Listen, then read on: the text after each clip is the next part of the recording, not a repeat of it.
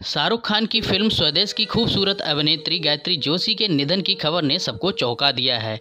Italy में गायत्री अपने पति विवेक ओबराय के साथ अपनी लैम्बोर्गिनी कार से जा रही थी। कई कारों ने एक साथ एक कैम्बर बैन को ओवरटेक करने की कोशिश की लेकिन तभी एक लग्जरी कार कैम्बर बैन से जाकर टकरा गई और एक कैम्बर पलट गई। उसकी चपेट में कई और कारें भी आ गई। इतना भयानक था कि एक फरारी कार में आग लग गई जिसके बाद एक अंदर बैठे पति पत्नी की जान चली गई।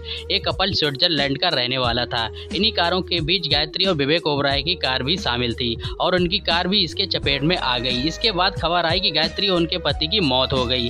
गायत्री ने अपने कैरियर में सिर्फ़ एक ही फ़िल्म की स्वदेश की लेकिन इस फ़िल्म में उन्हें ऐसी पॉपुलरिटी मिली आज तक लोग उन्हें भूल नहीं पाते हैं। इस एक्सीडेंट की खबर जैसे ही भारत में लगी लोगों को लगा कि उन्होंने बॉलीवुड का एक चहता सितारा खो दिया।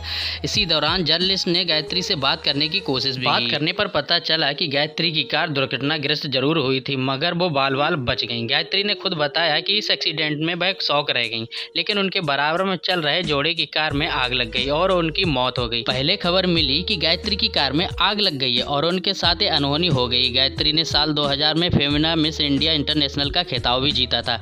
गायत्री का कैरियर बहुत ही छोटा रहा। शाहरुख खान की फ़िल्म स्वदेश के अलावा उन्हें कई विज्ञापनों में भी काम किया है। उन्होंने 2004 में स्वदेश के बाद उन्होंने बिजनेसमैन विवेक ओबराय से 2005 में शादी कर ली। उनके दो बच्चे भी हैं और वो विदेश चले अपने पति के साथ इटली में रह रही हैं। वह अठारह साल से भारत भी नहीं आई हैं, वो विदेश में ही रह रही हैं। दोस्तों, वीडियो को लाइक और चैनल को सब्सक्राइब कर लो।